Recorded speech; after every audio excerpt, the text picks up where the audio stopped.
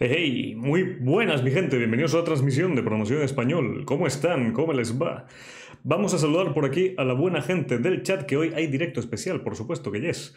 Vamos a ver, está por aquí el señor Necrifede. ¿Quién me ha invocado? Pues yo. Eh, Antón, muy buenas. El señor Secameu, ¿qué tal? Ya me hidrato, ya me hidrato. Ya vamos allá. Tu tortolito, muy buenas. Y muchísimas gracias por ese follow. ¿Sabes programar páginas web? De hecho, eso hacemos aquí justamente. Patching Web, muy buenas. J. Muy buenas tardes. Eh, vamos a ver. Eh, Moni Ruiz, buenas. ¿Alguien usa alguna extensión de visual de ahí? Eh, en su momento utilicé GitHub Copilot. Está guay. Ahora es de pago, pero bueno, hay otras opciones con, con, IA para, para, Visual Studio. vamos a ver, Dev Crash. Ah, llegué antes, ¿qué tal el miércoles? No me quejo, no me quejo. Bueno, realmente sí me quejo. Hoy, hoy estuve todo el día con jaqueca, pero bueno, ahí vamos. Este, vamos a ver, Otamae, muy buenas. Iván, ¿qué tal? Welcome. Eh, Antón, estoy muy tanto tiempo. Sí, tiempo sin verte por aquí. Eh, si aparece el canje del libro. ¿Cuál es el canje del libro? Eh, sí, sí me apareció, ¿vale? Pero bueno, ya vamos. Eh, los canjes anótamelos porque te los voy a deber, ¿sí? A ver, mi gente, les comento qué tenemos para hoy. Hoy hay directo especial, por supuesto que sí. De cara al debatón, ¿vale? Recuerden que los equipos participantes ah, van a tener auspiciado por nuestro sponsor, Don Web, que por cierto tienen por aquí el comando Don Web y tendrán un 20% de descuento en sus servicios eh, por sponsorship de la comunidad, ¿vale? De cara a lo que es el debatón, pues recuerden que Don Web nos va a dar espacios para cada uno de los equipos participantes para poder desplegar las aplicaciones. Y justamente hoy nos van a dar un taller súper interesante de cómo hacer esto, ¿sí? Estoy aquí con Francisco y con Lisandro, ya vamos a conocerlos y pues ellos son los que nos darán em, esta introducción y nos mostrarán cómo hacer todo esto para que ya los equipos puedan manejarse un poquillo más con el espacio en cloud, ¿vale? De todos modos, de todos modos, recuerden, mi gente, que pueden hacer preguntas por aquí, por el chat, ¿vale? No incómodos, por favor, gracias a la gerencia.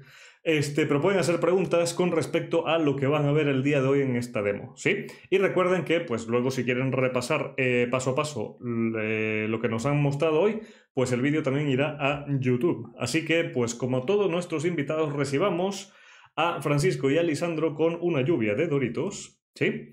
Y vamos a conocerlos. Déjenme compartir yo por aquí la pantalla y vamos al lío.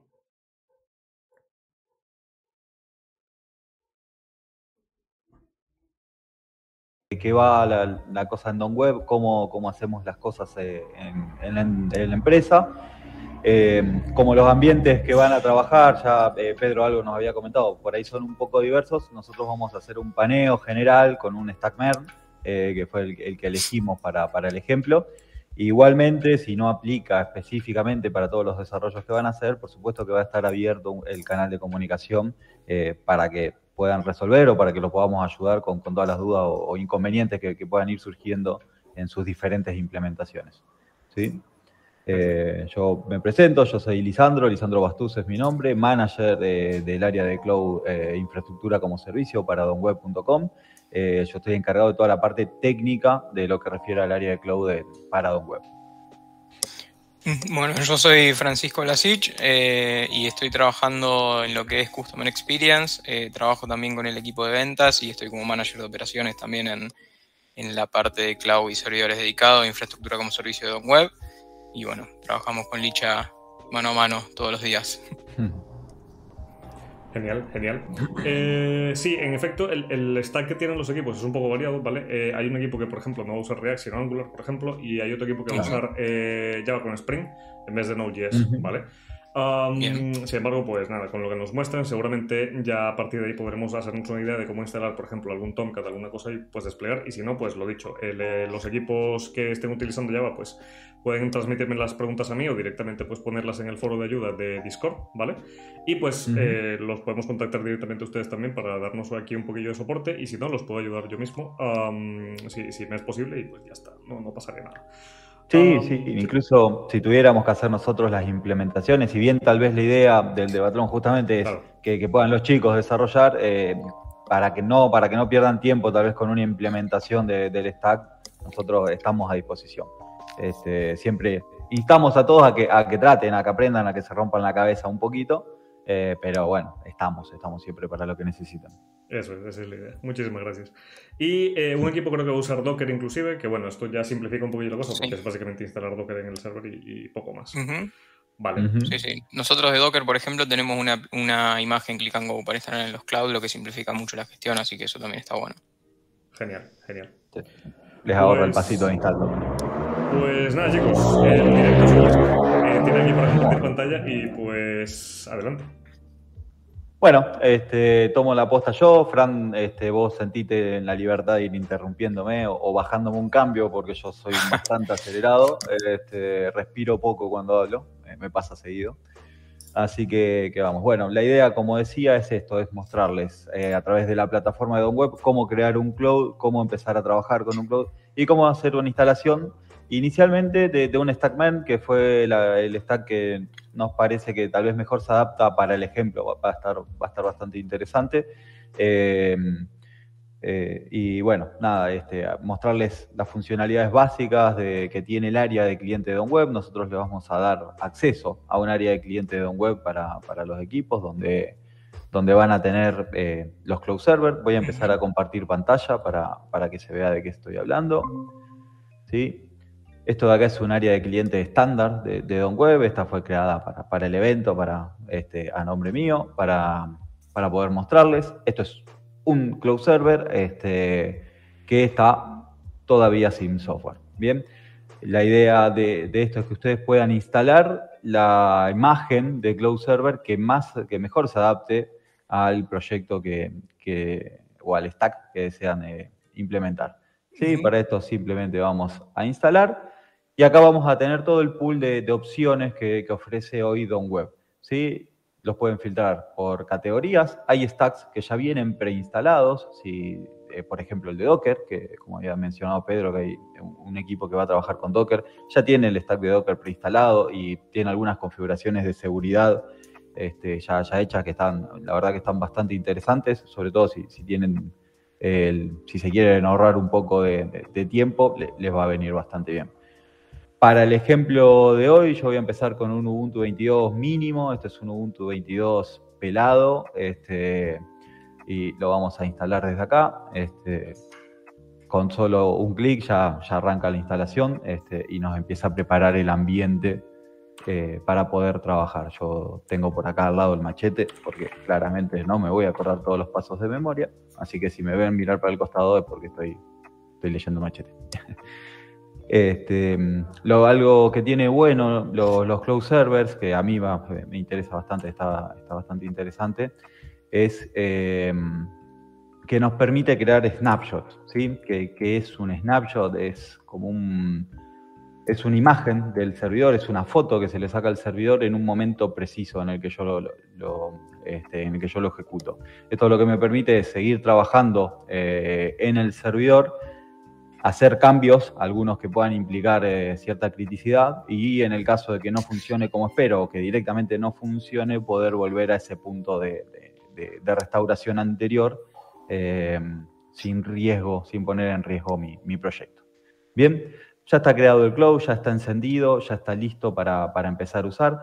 Por acá tenemos la IP pública que nos dan y en, en este, en esta barra lateral, en la sección de software y accesos, tenemos todos los datos de acceso a este servidor. Bien, Perdona, Eh, Lisandro, un- una sí. cosilla. ¿Podrías ponerle un poquillo de zoom? por favor, por aquí, sí. por aquí por el chat que eso. Bien, De- díganme si se ve bien ahí, si está, si se, o si necesitan un poquito más de zoom. Yo pensé que yo era el chicato, ¿eh? Eh, a ver, enten- entiendo que se ve bien. Eh, de todos modos, si me comenta alguna cosilla, eh, mejor zoom si es para verlo en móvil. Eh, a ver, ya, ya hicimos el zoom. Claro, si lo están viendo en móvil ya es otra cosa, porque claro, tienes Claro, ahí sí, es un poquito más- difícil, de- más- más de. Vale, Exacto. vale, vale, genial. Bien, este, bueno, como decía, en la, en la sección de software y accesos voy a poder ver qué es lo que tengo instalado. Como dije, acá tengo la posibilidad de crear los snapshots. Este, y un poquito más abajo voy a tener los datos de acceso al servidor. ¿sí? El hostname asignado para este servidor, IPv4, este, el usuario, la contraseña oculta por seguridad y el puerto SSH correspondiente. Bien, Eh, si se ve la consola, díganme si, si se ve. A esto sí le voy a hacer zoom porque esto seguramente se va a ver bastante chico. Vamos a entrar por SSH al servidor. Bien, eh, en, un, una situación normal debería pedirles clave de acceso. Yo como trabajo en Don Web, tengo, eh, en este servidor particularmente, tengo acceso directo. Si no, les va a pedir esta contraseña que está acá. ¿sí? Tocan el ojito, ven la contraseña, la pegan y ya con eso alcanza. Bien, ya estoy listo, ya tengo mi servidor este, desplegado y listo para empezar a trabajar. Como ven, es un Ubuntu 22.04.2 LTS, ¿sí? la versión Jellyfish, Yami Jellyfish. Bien, lo primero que, vamos a hacer es eh, actualizar el sistema operativo. Después de eso vamos a instalar eh, el StackMer. Está compuesto por eh, MongoDB, por Express, por Express, por React y por Node. ¿sí? En realidad debería ser Mongo, Node, Express, React, pero como quedaba difícil de pronunciar, movieron un poquito las letras. MongoDB es un motor de base de datos, está orientado a documentos, tiene la particularidad de que cada registro es un documento dentro del sistema de, archivos del servidor eh, y este documento, que, eh, este registro que es un documento, eh, consta de una par de, pares de clave valor. Este, son muy parecidos a un JSON, por ejemplo. Eh, la verdad que anda muy bien, es muy performante, eh, tiene un consumo de recursos mm, eh, bastante, bastante bajo, así que de los motores NoSQL que, que están hoy en mercado, a mí personalmente es de los, de los que más me gusta. Express es, digamos, es una capa superior a Node, se utiliza habitualmente para el backend, eh, bueno, Node.js eh, es un entorno para ejecutar JavaScript del lado del servidor y no del lado del navegador, como se hace, como se hacía habitualmente o como se hace todavía en, algunos casos. Eh, y la particularidad que tiene Node es que los módulos de, Node se ejecutan todos, cada uno dentro de su propio contexto. O sea que lo que sucede en un módulo de Node no, no va a afectar a otro, lo que nos permite un poquito alienar el funcionamiento de cada una de las cosas que vayamos haciendo eh, y que no haya interrupciones eh, en el proyecto A por culpa de lo que hicimos en el proyecto B. Eso, eso está muy interesante de Node. Eh, y bueno, y React es la biblioteca creada por Facebook para front, este, anda muy bien, la verdad que es, realmente está muy, buena, este, así que bueno, vamos a empezar un poquito. Freno acá, Pablo, si querés, eh, Pedro, si, si, hay alguna consulta que tengan los chicos. Si no sigo, no sé si la pantalla se ve bien. Yo justamente ejecuté esto para que me digan si, si se alcanza a leer bien. Sí, por aquí me confirmaron que la consola se ve bien, ¿vale? Eh, mi gente en el chat de Twitch, cualquier cosilla, cualquier pregunta que vaya surgiendo a medida que van avanzando, pues la pueden, la pueden poner en el chat, ¿vale? Y pues yo estoy aquí pendiente y se la comunico a Alessandro y a Francisco y a Diego que se acaba de unir. Por cierto, bienvenido Diego a la... Buenas, buenas gente, sí. Muchas gracias por la bienvenida. y aprendiendo algo. Lo, presento a Diego, que, está tímido. Diego es el PO del área de Cloud Server este, en Don Web. Él es básicamente el que nos indica el norte de, hacia dónde queremos ir. Y nosotros acá con, Fran y, bueno, y todo el equipo eh, tratando de, seguirle el ritmo. Si yo soy ansioso, si yo voy rápido, no lo dejen hablar a Diego. Así que, bueno. Este, bueno, empezamos la implementación entonces, de nuevo, frenenme a medida que, lo vayan necesitando, este, no, tengan miedo porque yo por ahí asumo conocimientos o asumo cosas y, paso de largo. Lo primero que, vamos a ir haciendo es actualizar el sistema operativo, ¿sí? apt update, eh, menos Y para que aplique todo sin, sin preguntar si estamos seguros ampersand ampersand para que a continuación de esto, si sale todo bien, haga el segundo comando, apt upgrade y también le vamos a poner menos y para que como haga el, siga siga, como le digo yo, que, no pregunte. Que no pida confirmación. Exacto. La, única diferencia de poner el menos Y o no ponerlo es eso, es una confirmación. Nos va a preguntar si realmente queremos instalar o no las actualizaciones. Eh, había bastantes actualizaciones, puede, puede demorar unos tres minutos tal vez. Eh, sí, un poquito, la velocidad de descarga viene. Eh, es importante siempre actualizar el sistema operativo antes de empezar la, implementación. Eh, no es el caso particular de este ejemplo que vamos a hacer nosotros hoy, pero por ejemplo en Mongo, en Mongo no, en Node, si utilizan la, librería que viene por defecto en Ubuntu, eh, se instala una versión 16 de Node.js y la última es la 20, ¿sí? Entonces eh, tal vez se pierden funcionalidades si, no actualizamos. Eh, lo mismo sucede, por ejemplo, con MongoDB, que el repositorio Ubuntu creo que está instalando la 4.4 y la latest es la 6.0. Este, tal vez no necesitamos siempre la última versión, pero ténganlo en cuenta siempre de, tener un sistema operativo actualizado antes de empezar la implementación eh, para poder contar con, las últimas versiones.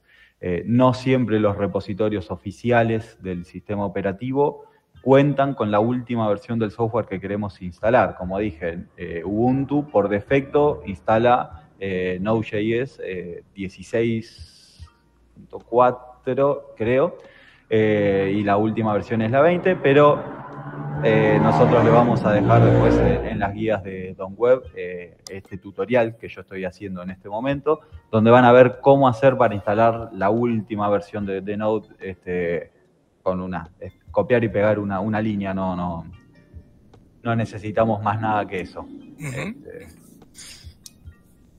De todos modos, recuerden que si van a utilizar solamente Node y, un, entorno para que corra Node, tenemos la imagen Click and Go que simplifica algunos pasos. Si bien esto del update eh, del, servidor se hace igual y es importante, eh, te ahorras instalar la, el Node, justamente. Y, el, entorno. Y el Nginx. Sobre todo, que, tal vez puede ser un paso que, genere eh, varias dudas. Este, después lo, iba a mencionar después, pero bueno, ya que salió a colación, vamos a instalar un, un Nginx para que nos haga de proxy. Este, las aplicaciones de Node corren en, un puerto muy específico eh, del servidor. Lo que hace Nginx es que toda petición que entre por el puerto 80, que es el, más común, o el 443, que es el puerto seguro con SSL, se redirija a ese puerto de Node eh, para que con simplemente poner el hostname o, el dominio eh, podamos acceder sin, sin demasiadas vueltas eh, a, nuestro proyecto. Bien. Funciona a modo de proxy, digamos. Exacto. Bueno, mientras esto se termina de instalar, que le deben faltar uno o dos minutos, les muestro cómo se configura el firewall, por ejemplo, desde el área de cliente. ¿sí? Este, el firewall se configura desde esta sección. El firewall de los servidores Cloud Server está aguas arriba del Cloud Server. ¿Qué quiere decir esto? Que no corre adentro del servidor, no consume recursos del servidor, sino que corre en un router de borde que está por encima de los Cloud Server. Esto nos da la posibilidad de poner eh, seguridad por hardware, eh, filtros de ataque de dos, todo por fuera del servidor sin consumir los recursos que tiene este Cloud Server eh, y dando la seguridad que, necesita. Bien tengan cuidado, ya que está, lo aclaro, con los tutoriales que muchas veces les hacen instalar un firewall dentro del servidor. No es necesario en estos casos, no lo recomendamos porque suele haber conflictos. Este, igual, si lo quieren instalar y lo quieren configurar, bienvenido sea. Eh, pero siempre recuerden que este es el primer firewall que, va a regir por sobre el servidor. ¿sí? Primero tiene que pasar esta línea de defensa para después llegar al servidor y ahí recién va a entrar en juego el servidor que, el firewall que ustedes hayan instalado. Bien, agregar un, eh, un puerto al firewall acá es muy sencillo, se selecciona el protocolo primero, se elige el puerto que vamos a agregar, si yo quisiera agregar por ejemplo el 8080, el puerto por defecto de Tomcat, eh, elijo la IPv4 para el cual voy a abrir este puerto. Puedo abrirlo para todas las IPv4 para que todo el mundo tenga acceso a este puerto o puedo abrirlo para una IPv4 específica, eh, por ejemplo la mía de mi casa, si es que tuviese una IPv fija, si mi proveedor de internet me brindara una IPv fija, eh, o bien un IP puntual de otro servidor que yo solamente necesito que ese servidor acceda por este puerto. Bien, esto es una, medida de seguridad. En caso de querer trabajar con todas las IPs, seguimos lo que dice acá, abajo, ¿sí? agregamos cuádruple 0 barra 0. Lo mismo con IPv6, es la misma metodología. Si queremos agregar el comodín eh, para que entren todas las peticiones, los hacemos eh, poniendo dos puntos, dos puntos eh, barra 0 y le damos al agregar y ya tenemos cargada y habilitado el puerto 8080. Eh, el tráfico a través del puerto 8080 a nuestro servidor. Bien, así de fácil como lo creamos, lo podemos eliminar desde acá. ¿sí? Es muy sencillo. Eh, lo vimos, lo vamos a dejar. Como no voy a poner, eh, no voy a exponer nada a través del puerto 8080, voy a cerrar esas reglas por seguridad. Bien, bueno, por defecto estas reglas que ya están abiertas son las reglas por defecto. Eh, todo Cloud Server cuando se crea tiene mínimo estas reglas, que son puerto 80, puerto 443 y el puerto SSH. Este puerto es aleatorio. Cada cloud que ustedes creen, incluso cada vez que lo recreen, ese puerto cambia eh, y se habilita únicamente eh, ese puerto. Bien, eso para que lo tengan presente. Bien, se terminó de actualizar el servidor. Lo que vamos a hacer ahora es reiniciarlo. Toma unos pocos segundos para que levante con la última versión de kernel, porque justo instaló una actualización de kernel, así ya quedamos listos eh, para empezar con la instalación. Este, además del firewall, este, tenemos por acá la sección de estadísticas, ¿sí? Eh, con CPU, memoria. Esto para cuando ponen la aplicación en producción está bastante interesante para entender cómo se comporta ante cada, ante cada petición. Eh, bueno, acá tenemos estadísticas solo en unos pocos minutos porque hace menos de 15 que lo, que lo creamos, eh, pero realmente está, bastante interesante. El tráfico consumido, ¿sí? bastante pesada la actualización.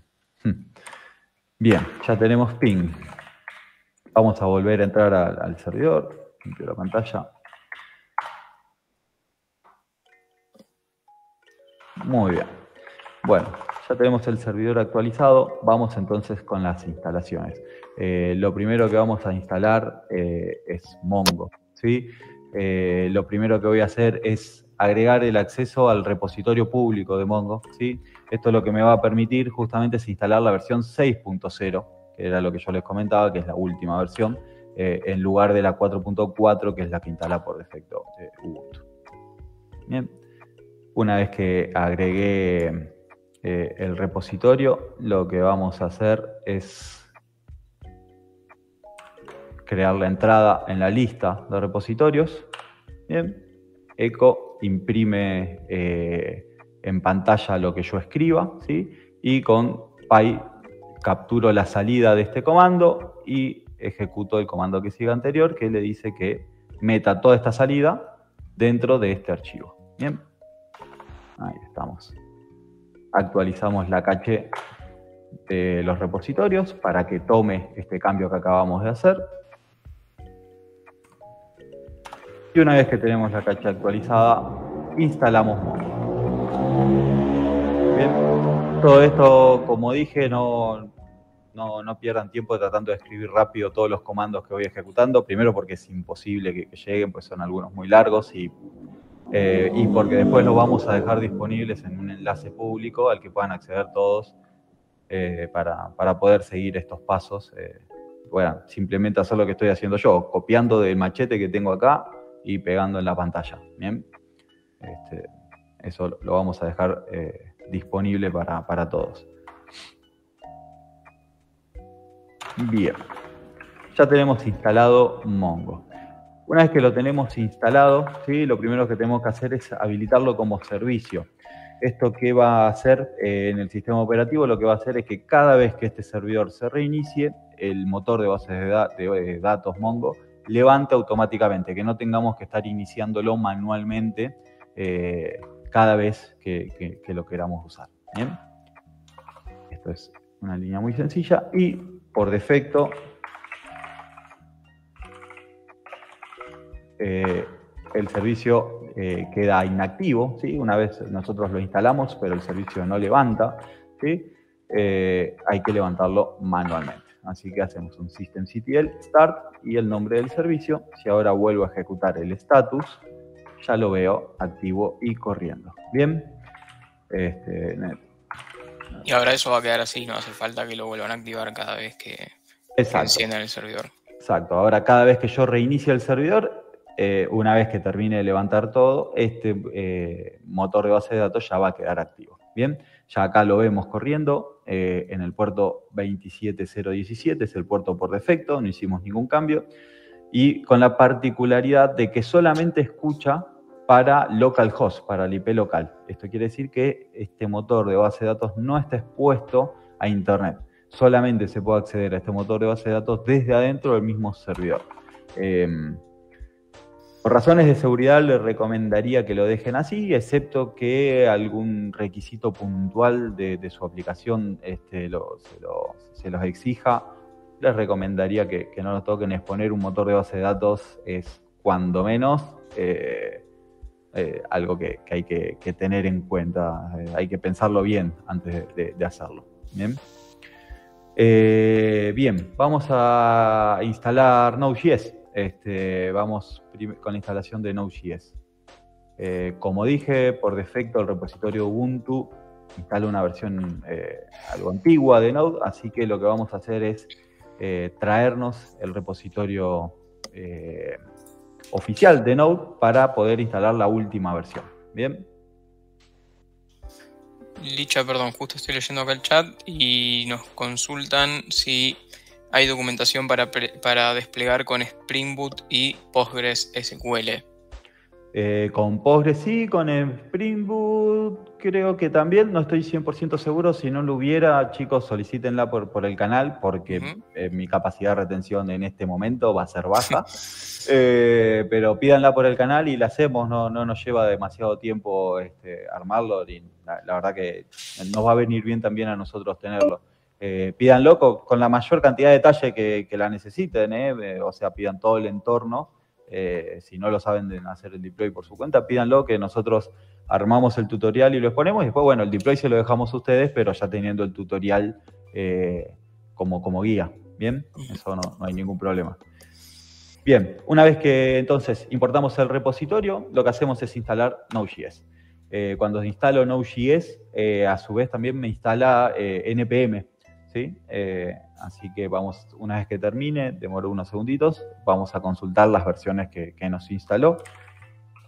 Node "-b", nos instaló la versión 20.0.0 y npm "-b", nos instaló la versión 9.6.4. Bien, así de sencillo es la instalación de Node, no tiene demasiadas vueltas. Después el puede, puede, tener algún que otro vericueto, pero las instalaciones son sencillas. Bien. Vamos a instalar React ahora, es el próximo paso. React es un módulo dentro de Node, este, como ya habíamos dicho antes. Eh, así que lo que vamos a hacer es, eh, para poder separarlo, para poder ordenarlo, vamos a crear un directorio aparte para la demostración que estamos haciendo y dentro de ese directorio vamos a crear el módulo de React y el módulo de, Express Bien, entonces, para crear un directorio... Eh, en, Linux por consola usamos el comando mkdir, ¿sí?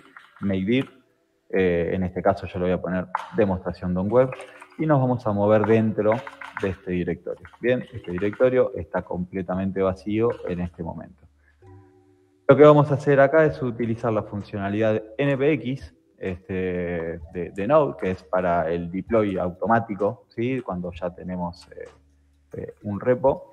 Le ponemos el menos menos 10, eh, igual que cuando hicimos el update, eh, antes solamente para que no nos pregunte que estamos seguros.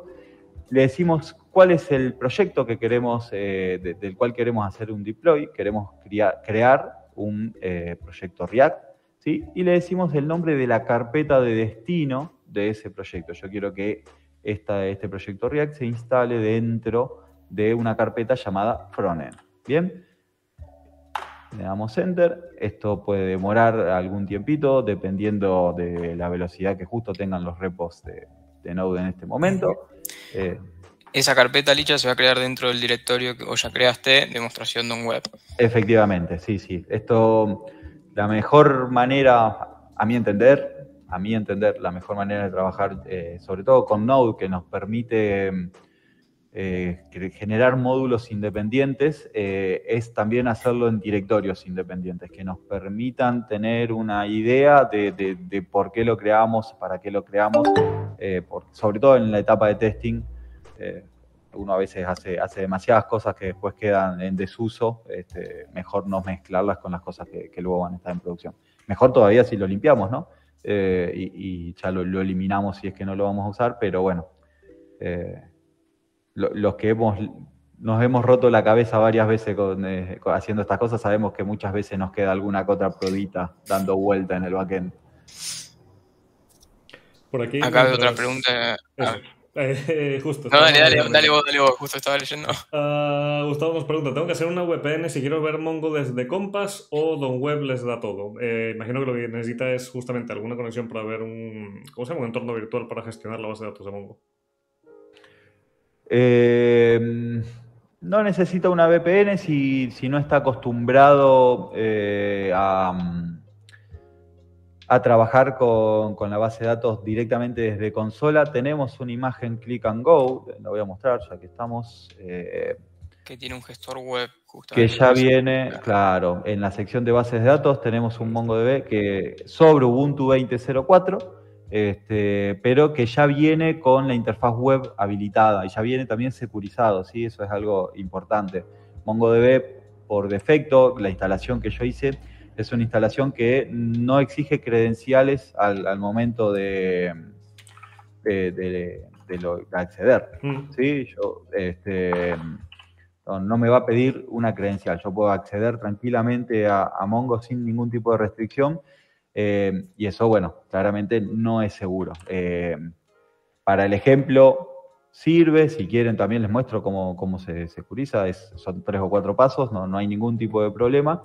Esta versión Click and Go ya viene con un usuario y una password fuertes creados que una vez que, lo, la crean, eh, valga la redundancia, les va a aparecer una segunda pestaña acá con los datos de acceso al motor de base de datos. ¿sí? Viene con una interfaz web para que lo puedan administrar por web y viene también ya securizada la base de datos. Les va a ahorrar unos cuantos pasos y les va a facilitar la gestión si es que no están habituados a trabajar por consola. ¿Bien? Y lo mismo pasaría con la, con la imagen que tenías ahí de Postgre, ¿no? Sí, exactamente lo mismo. Lo, pasé muy rápido. Si, si quieren, eh, las volvemos a poner. Eh, lo mismo con la de Postgre y lo mismo con la de MariaDB. Tal vez MariaDB es de los tres que están acá el más fácil de administrar, creo yo, o al menos el que todos estamos un poquito más acostumbrados porque eh, es, el estándar desde, hace bastante, eh, pero sí, en, en Postgres y en MongoDB, lo mismo María, van a tener un gestor web para poder administrar las bases de datos. Ya vienen, son imágenes que ya vienen securizadas, ya vienen preparadas como para empezar directamente a crear bases de datos y empezar a trabajar en un entorno relativamente seguro. O sea, tan inseguro como, como lo que ustedes hagan dentro. Es así. Vale. Este, así que ya saben, pero bueno, web se los da. Sí, sí, esto ya, ya está listo para, salir, este, para, salir a producción. Bien, ya creamos eh, el proyecto React ¿sí? dentro de este directorio frontend. Si yo ingreso a frontend, veo que ya está desplegado el mismo. Bien, este es, módulo que ya está listo para, para empezar a utilizarlo. Por supuesto, está pelado, está limpito, hay que hay que ponerle un poquito de amor como para, que tenga utilidad, ¿no? Este, ya que estamos por acá, vamos a ir al frontend y vamos a hacer el npm from build. Sí, esto es para que haga el primer build de, la aplicación.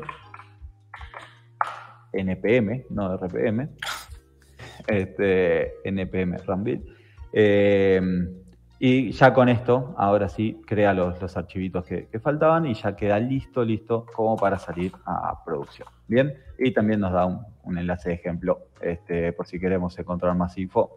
Lo recomiendo, la verdad que está, bastante completa la, la eh, bien, ya tenemos instalado el Node, ya tenemos instalado el Mongo, nos queda únicamente eh, arrancar con la instalación de, del Express. Eh, nos vamos a mover nuevamente al directorio eh, de demostración, donde estamos parados ahora, ¿sí? Este directorio que creamos para, esta demostración. Y eh, dentro de este directorio vamos a crear una carpeta que se va a llamar server, ¿sí? mkdir server, punto y coma, esto es para que ejecute un comando después del otro, ¿sí? sin importar el resultado del primero, ejecuta el segundo a continuación, y cd server es para change moverme de, directorio y me muevo a este nuevo directorio server que acabo de crear, que está vacío. Bien. Dentro de este directorio lo que vamos a hacer es inicializar el npm. Esto nos crea un archivo de nombre package.json este, con una configuración estándar, sí, que no, dice absolutamente nada, de nombre server, eh, la versión, eh, le ponemos nosotros el número, y con esto ya podemos arrancar con la instalación de los módulos. Volvemos nuevamente al directorio de demostraciones y aquí instalamos ya sí los módulos necesarios para Express. Bien, estos módulos son Course, Express, propiamente dicho, MongoDB para poder hacer la, conexión, Mongoose para poder eh, enviar y recibir la data y NoDemon para que pueda correr en background. Bien, eh, esto es bastante rápido este paso. Habitualmente los módulos eh, se instalan muy, muy rápido. a las pruebas me remito. Y ya con esto tenemos listo el entorno como para, empezar a trabajar. Bien, eh, ya acá podemos decir de alguna manera que, tenemos listo el entorno. Ahora, ¿qué, ¿qué, es lo que sucede? Que era lo que habíamos comentado al principio. Eh, la verdad que no lo tenía planeado, pero vamos a hacerlo, total, no, es difícil. Eh, las aplicaciones Node, por defecto, corren en puertos 3000 y algo, 5000 y algo, que como vimos en el firewall del servidor, no son los puertos que están abiertos por defecto. Y vamos a ser sinceros, Mm, los usuarios o, las personas que, van a consumir estas aplicaciones habitualmente no van a entrar al dominio 2.5000 algo, sino que quieren poner en el navegador directamente el dominio.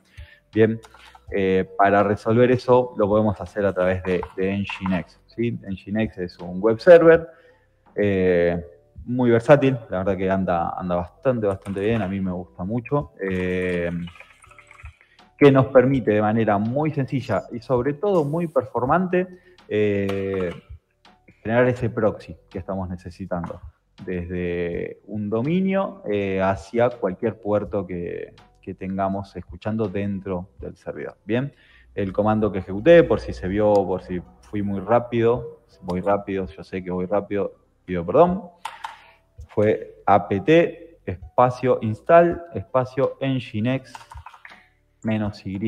¿sí? Esto instaló Nginx. Bien, este, y lo que vamos a instalar, ya que estamos, es eh. Este sí tengo que ir al machete porque este nunca me lo acuerdo.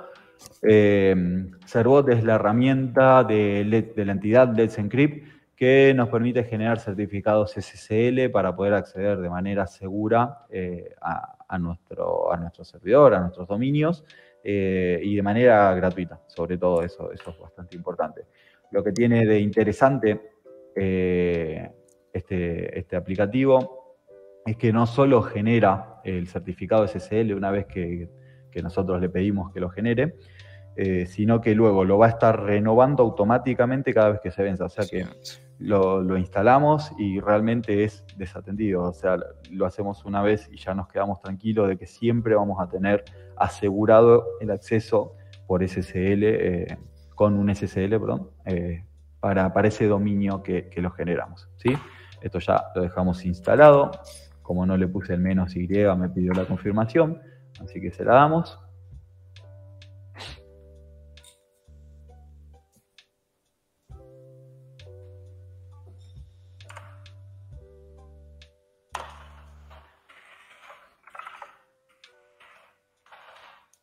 el servicio Nginx está corriendo. Dentro del directorio etc de Linux guarda los, eh, los archivos de configuración de la mayoría o de, la gran mayoría de, los programas, servicios y, procesos que tiene corriendo. Eh, dentro de etc Nginx vamos a encontrar los archivos de configuración del propio módulo Nginx. ¿sí? Vamos a ir a cd sites enables Acá tenemos el listado de sitios web que están habilitados eh, dentro de este Nginx y tenemos uno solo que es este default. A mí me gusta mucho el editor MSEdit, eh, pueden usar cualquiera.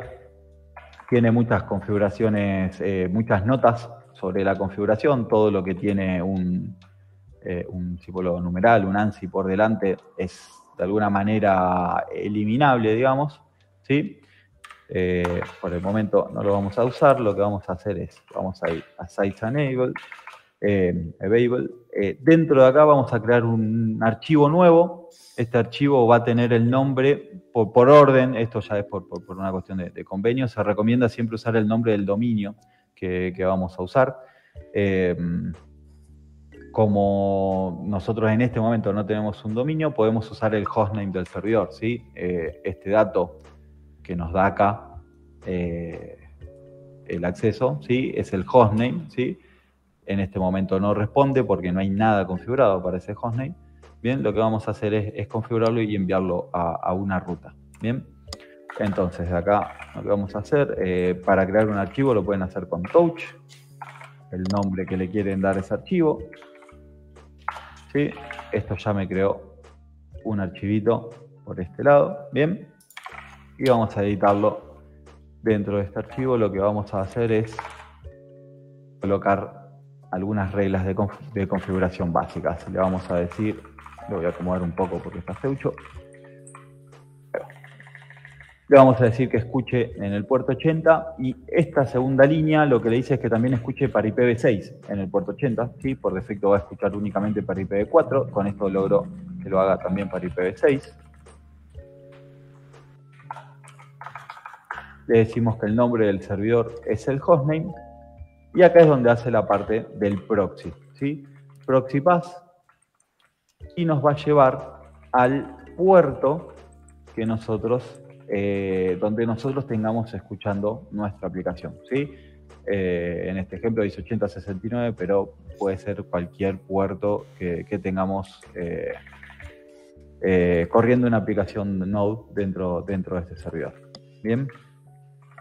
Una vez que lo tenemos, eh, que lo tenemos, lo guardamos, ¿sí? nos movemos nuevamente a Sites Enable. Y acá lo que tenemos que hacer es crear un enlace simbólico, ln-s, hacia ese archivito que creamos. Un enlace simbólico es eh, eh, lo más parecido a un acceso directo en Windows, es la mejor manera de describirlo, eh, rápido.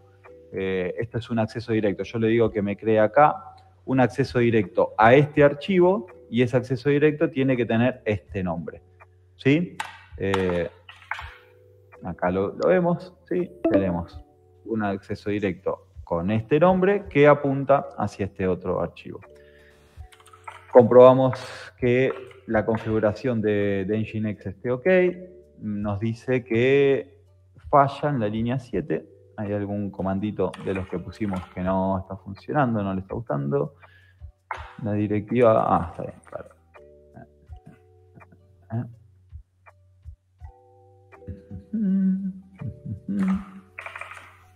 Eh, estoy chumeando. Esto por no haberlo preparado antes, ¿no es cierto? Pero estas son las cosas que les van a, a suceder y mucho cuando ustedes estén implementando. Eh, proxy, proxy. Ah, bueno, vamos a ir por la por la tangente.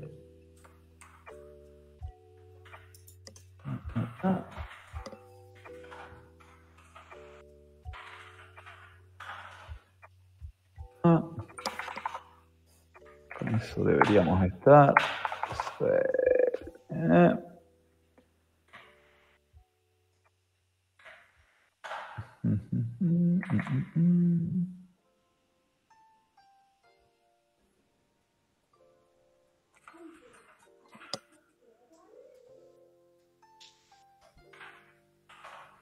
Siempre que hay un error es porque falta una llave o un punto y coma. Ahora sí, precisa. Bien. Eh, el error, no sé si se, llegó a ver, eh, decía acá, un expected en file y estaba esperando una llave que claramente me había olvidado eh, cuando escribí antes. tal vez no, hubiese necesitado borrar todo lo, que borré eh, o reemplazar esa línea. Pero bueno, una vez que, tenemos eso, reiniciamos el Nginx y ya con eso tenemos listo eh, nuestro servidor próximo. En este momento, como no tengo nada corriendo en ese puerto que, puse, eh, no, va a estar mostrando nada, va a mostrar un error 500, este, ingreso.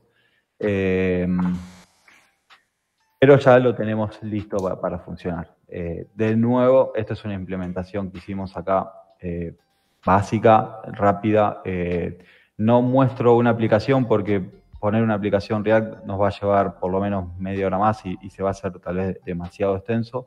tenemos una aplicación de ejemplo funcional que también la vamos a dejar en el ejemplo por si, por si quieren probar. está bastante interesante.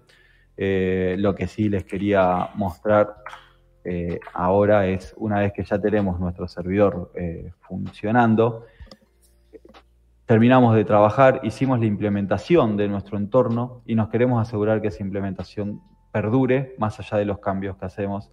Lo recomendable es crear, que creen un snapshot, ¿bien? Eh, estos snapshots los crean desde acá, se crean rapidísimo, ahora vamos a crear uno para que lo vean. Eh, no, tienen costo, se pueden crear hasta dos snapshots por, cada cloud, se almacenan por hasta 90 días corridos. Eh, así que la verdad que está interesante. Lo único que se les pide como condición es apagar el servidor, porque como hace una foto, la mejor manera de sacar esa foto es con el servidor apagado. Bien, eh, una vez que se termina de crear el snapshot, lo único que resta es prender el servidor y ya podemos seguir trabajando sabiendo, teniendo la seguridad de que tenemos ese respaldo y de que todo ese laburo que, hicimos antes eh, no se va a perder. En caso de necesitar eh, restaurarlo, venimos a software exceso, snapshot, y le damos instalar y se restaura este, este snapshot y salimos andando desde ese punto en el que sacamos la foto. Eh, sin perder todo ese, progreso que, nos puede haber llevado una buena cantidad de tiempo. Bien, eh, abro caja de, preguntas eh, para, los chicos. Vale, mi gente, por aquí por el chat de Twitch los leemos. ¿Alguna pregunta de momento? Por cierto, a mí les envié una otra convocatoria, ¿vale? Porque ya me salió la notificación esta del rollo del tiempo de, de Mix. Entonces, por si acaso no nos deja entrar en la misma, tenemos otra convocatoria allí nueva. Ok. Vamos a ver qué nos dicen por aquí en el chat. Por cierto, les comentaba justamente a, la gente de aquí de Twitch y bueno, a los equipos y tal, que la información es, sumamente útil porque de hecho así mismo tengo yo instalado, desplegado, perdón, eh, tanto el bot que controla, pues, por ejemplo, el chat, el sable de luz y todo lo demás del canal, los comandos y todo esto, como también la web de la, de la comunidad. Vale, entonces, de hecho, uso eh, lo mismo eh, en Jinx, uso pues Airbot. tengo PM2 para gestionar lo que son los, las aplicaciones de Node. Em, y en este caso la web está con Astro, el bot de Twitch si es un servicio de Node, y la web está con, con Astro con componentes eh, standalone de React. Entonces, vamos, que es, genial la información porque esta, misma secuencia de pasos, pues además de poder utilizarla pues, en eso, en servidores de web, vamos, que les pueden servir sobre todo el hecho de manejarse, ¿no? De, golpearse un poco contra, contra este tipo de gestiones de servidor, pues con cualquier otra cosa. Por ejemplo, si un cliente de ellos tiene luego, pues, yo qué sé, un S2 de AWS o un servidor dedicado X, pues la manera de gestionarlo es exactamente el mismo, obviamente estando bajo Ubuntu, ¿no? Que es lo, lo más común. Sí, sí, eh, estos pasos que, detallamos son, yo lo hice en Ubuntu 22 porque es la, última versión, pues son totalmente compatibles con Ubuntu 20 eh, y dentro de, Ubuntu y de, versiones basadas en Ubuntu de, Linux van a andar casi sin ningún retoque. Justamente. Así que... Por aquí, Franco Pietra, ¿querés ver si este video queda publicado en algún lado? Sí, quedará en YouTube, ¿vale?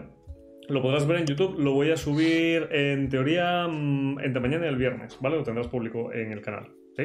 Tienes el canal por aquí. Así que sin ningún problema. Genial. Eh, a ver, mi gente, de aquí de Twitch, eh, ¿están presentes de los equipos quiénes? ¿Qué, equipos están por aquí presentes? Vamos a tomar aquí lista de asistencia.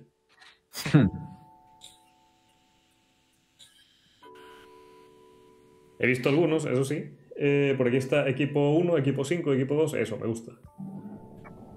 Equipos, no, Lufe, no. Equipos 1 por allí, ok. Equipo 4, equipo 3. Ok, están todos los equipos. Excelente. Pues de los equipos, ¿alguna dudilla que tengan de momento? Sé que es bastante que digerir, sobre todo si nunca han, hecho algo por el estilo, ¿vale? No se preocupen, pueden seguir luego el vídeo paso a paso y pues cualquier cosilla, pues eh, estoy yo y también, eh, ¿cómo se llama? Estarán Francisco y Lisandro pues por allí para cualquier cosa que necesitemos, ¿vale? Uh, pues si tienen alguna duda ahora mismo, pues aprovechen.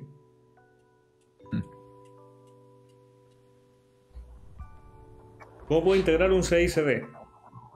No sé si tiene alguna, alguna imagen por allí. Eh, no tenemos ahora ninguna imagen eh, con CICD integrado. Eh, es muy sencillo, incluso el propio Node permite en el archivo que se define el package.json configurar la conexión con, un, con tu repositorio. Este, y luego las actualizaciones se van haciendo a medida que vas haciendo los merge, este, se van haciendo solas. lo único que te va a quedar es hacer el build, el npm run build, eh, luego de, que apliquen todos los cambios para que, bueno, para que impacten en, producción. Eh, pero es realmente muy sencillo. Hoy no tenemos una, una aplicación que ya venga previamente integrada, eh, pero es muy sencillo, realmente es, muy sencillo. Es un par de líneas de código mm. directamente en el package.json. Incluso lo pueden hacer desde el mismo GitHub, desde las pipelines, pipelines perdón, de, de GitHub, ¿vale? Ah, eh, GitHub tiene también pues, un store de secrets, ¿vale? Donde irían las credenciales, por ejemplo, de su instancia DOM web. Y a partir de ahí eh, pueden ustedes desarrollar todo lo que es el flujo de despliegue, de build, de testing, de lo que sea que tengan, ¿vale? Y desplegar desde el mismo GitHub, ¿vale? Que se me fue el nombre de las pipelines, es GitHub... Eh, ¿Cómo es? Uh, vale, vale, la mía. Y, lo, más, lo más irónico es que tengo un tutorial de ello. ¿eh? Pero sí, sí. Se me olvida el nombre. Son cosas que pasan. Sí, sí, sí. sí. Es GitHub, ya les digo. Actions. desde GitHub Actions, ¿vale? Pueden tener eso, una, una pipeline de despliegue continuo, ¿sí? Que les haga todo el build. Guardan en el store, ojo, ojo con eso. En el store, en los secrets de GitHub Actions, eh, o de GitHub en este caso eh, las credenciales, no vayan a estar publicando credenciales por ahí. y eso pues se conecta ya a su servidor, hacer la conexión vía SSH y pueden desplegar desde allí, ¿vale? Si quieren que hagamos algún tutorial, alguna codexilla por allí, pues lo hacemos sin ningún problema. Pregunta, ¿para generar el snapshot del sistema es recomendado o es requerido hacerlo con el servidor apagado? ¿Es la copia por defecto? ¿Cuántos snapshots se pueden almacenar? Bien, eh, para hacer el snapshot, sí o sí se, está por cortar sí, eso, tío, sí, se va a cortar, así que entremos al otro meet y... Vale, vale, entramos, entramos rapidillo al otro. Eso es. Denme un segundillo, mi gente. Vamos a cerrar aquí y entramos al otro meet. Problemas técnicos. Denme un segundillo, ya vamos allá.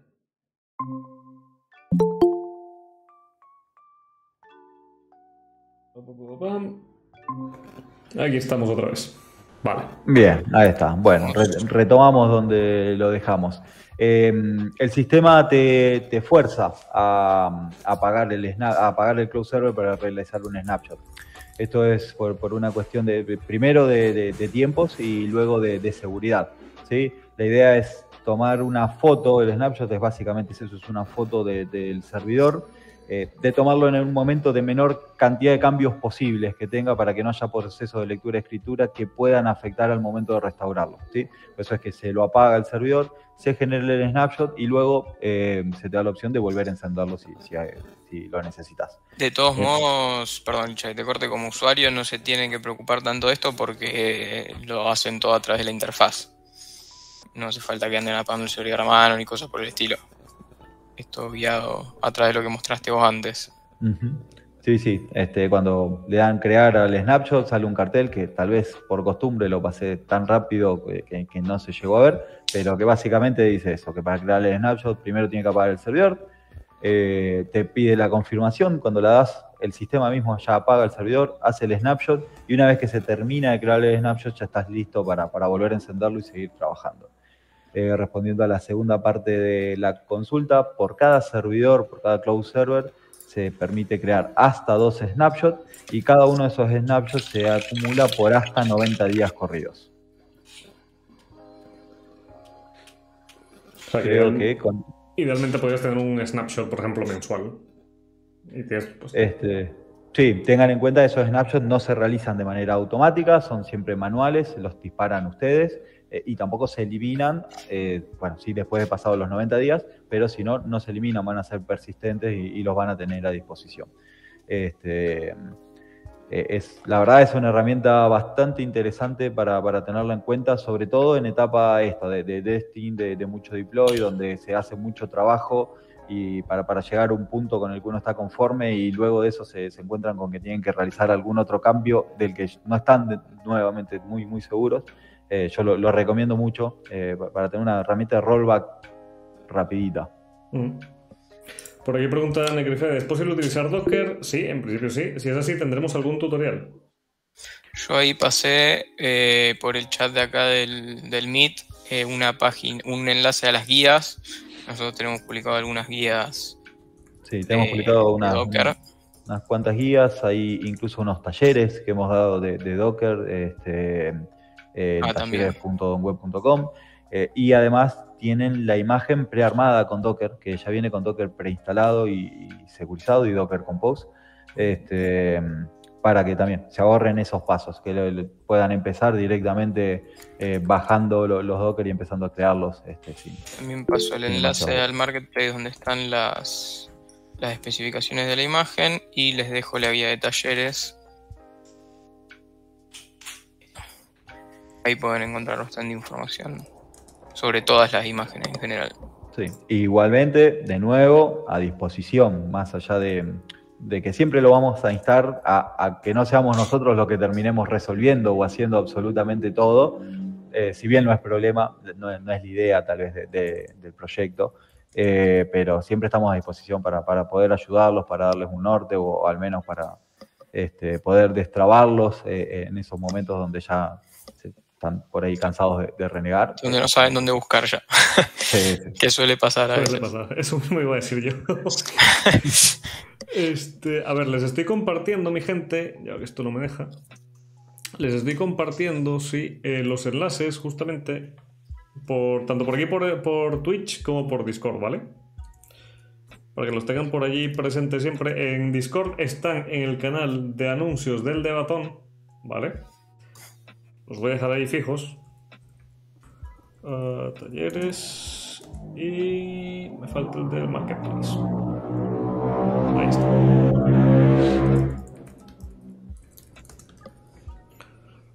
¿Sí? Ahí está.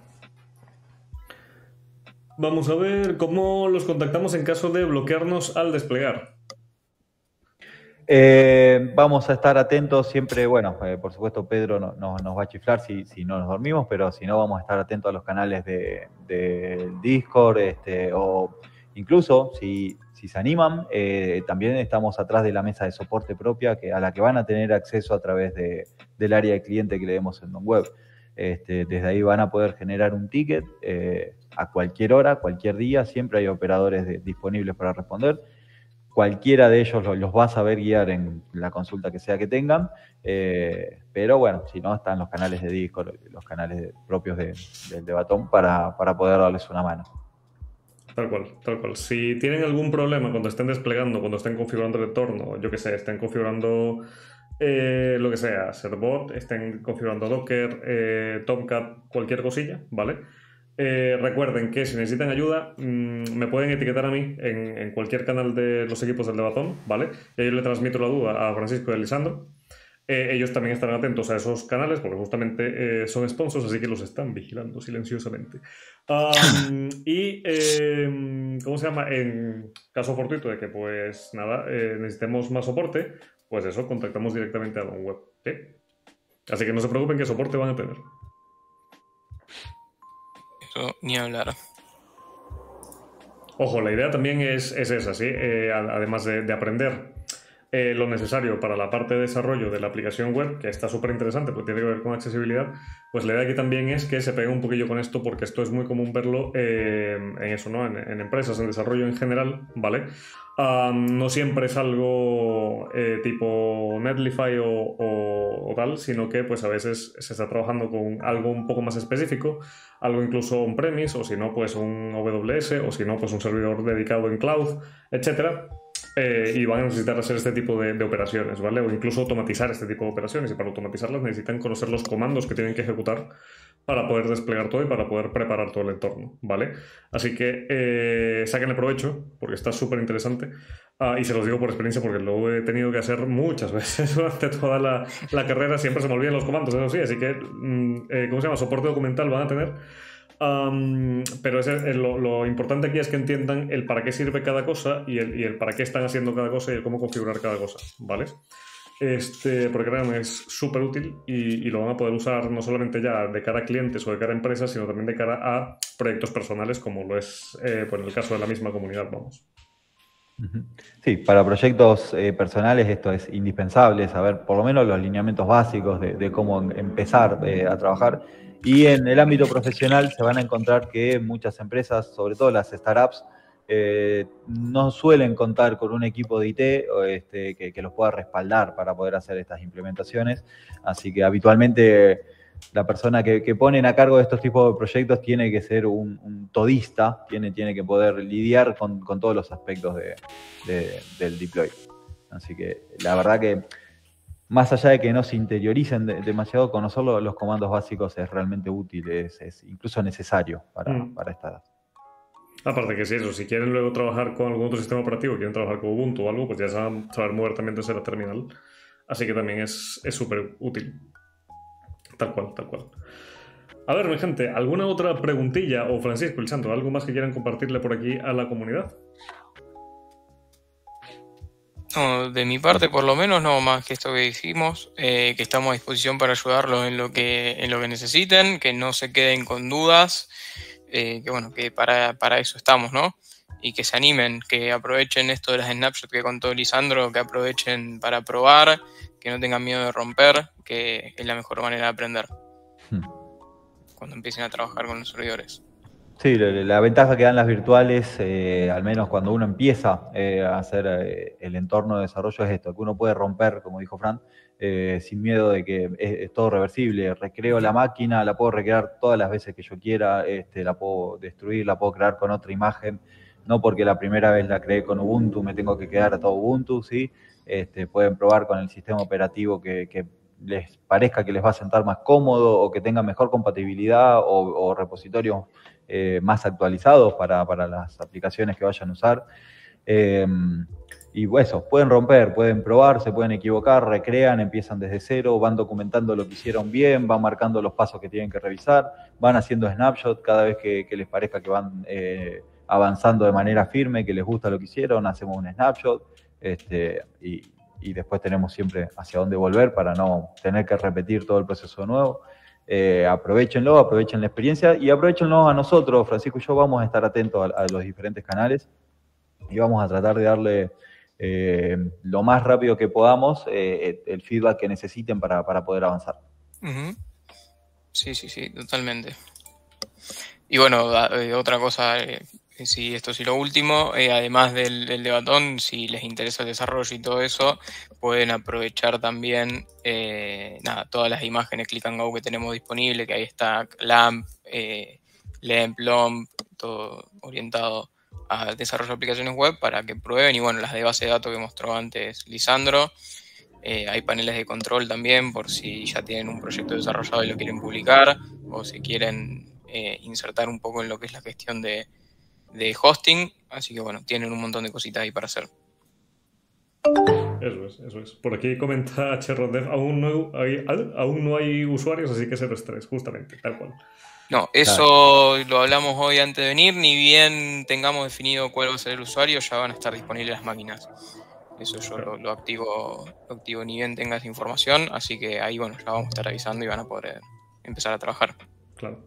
Sí, el, aquí se refiere más que todo a usuarios de la aplicación, así que claro, usuarios productivos por, por, errores. Claro, claro. Pero sí, lo dicho, eh, eso también es importante, ¿vale? en cuanto tengamos ya las, las credenciales y todo para que ustedes puedan comenzar a entrar y comenzar a tocar cosillas, pues se las vamos a compartir por los canales de, de los equipos. ¿sí? Bien, bien. Eh, dentro del área de cliente, cada cloud se le puede poner un título, un nombre, ¿sí? una etiqueta que, lo identifique.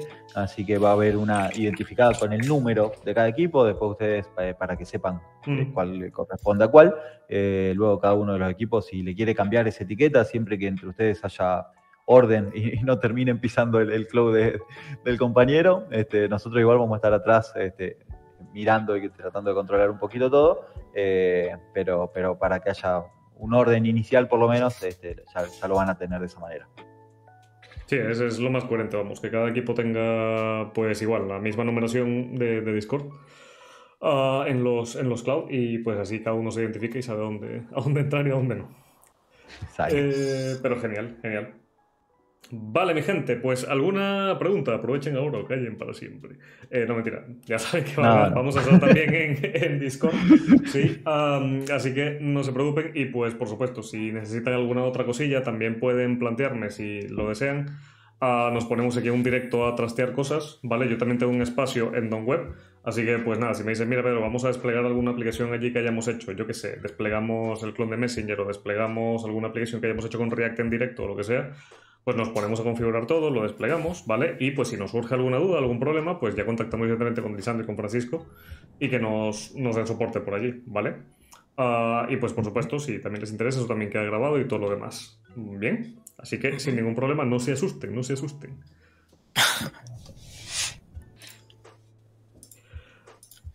Vale, pues si no hay más preguntas por aquí, eh, Lisandro Francisco, muchísimas, muchísimas gracias eh, por la sesión, ¿vale? Eh, ya los fastidiaremos, no mentira, este, pero ya, ya estaremos por ahí eh, charlando por, por Discord, sí. En lo que tengan, repito, las credenciales, lo que tengamos las credenciales, mi gente, se las vamos a pasar por los equipos de Discord. A aquellos que han llegado el día de hoy al directo, muchísimas gracias por esos follows. Si no conocen el servidor de Discord o las demás redes, las tienen por ahí en el chat, ¿vale? Y pues nos veríamos por aquí el viernes a la misma hora de siempre, 7 de la tarde, hora de España. El viernes hay daily del debatón. y ojo, y ojo, porque los sponsors los vigilan. Este, así que pórtense bien y comuníquense. así que nada, mi gente, nos vemos el viernes. Recuerden, por cierto, que esta charla también va a estar disponible en el canal de YouTube a partir del viernes, tentativamente. Eh, pues creo que tengo que esperar 24 horas por el tema de Twitch. Pero ya a partir del viernes estará en YouTube. ¿Sí? Así que, pues nada, si no hay más, nos podemos despedir aquí. No les quito más tiempo, Francisco y Lisandro. Infinitas gracias por estar aquí. Como siempre, eh, saben que así como los tenemos ustedes, nos tienen a nosotros por aquí por Discord y, bueno, a mí por cualquier cosilla. ¿Vale? Buenísimo. Muchas gracias, Pedro, por la oportunidad. Gracias a la comunidad toda. Este, estamos a disposición. Eh, utilicen, explótennos, eh, úsennos. Lo, lo que más queremos es gente que, el rubro crezca, que, la verdad este, nos retroalimentamos entre todos.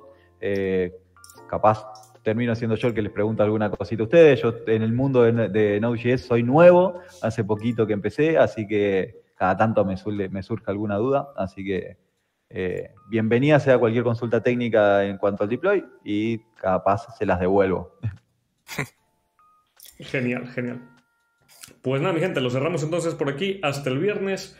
Cuídense, pues que la pasen bien, descansen, desconecten, no se me estresen de más, que las buenas prácticas los acompañen y que tengan muy buen código. Despedimos por aquí el directo, muchísimas gracias a todos y hasta luego. Vamos a cerrar por aquí.